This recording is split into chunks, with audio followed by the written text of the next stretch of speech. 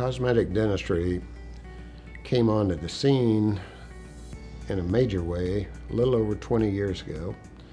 And I'd been waiting for that because I always wanted to be able to do really fine artistic dentistry, and we didn't have the materials. We were, up until that point in time, we had to use crowns, for example, that had a metal core under them. And after however many years, frequently the person would get a black line at the gum line.